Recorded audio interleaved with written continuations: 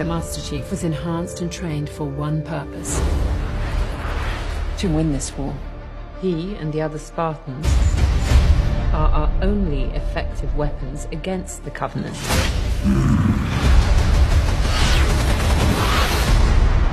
Master Chief, huh?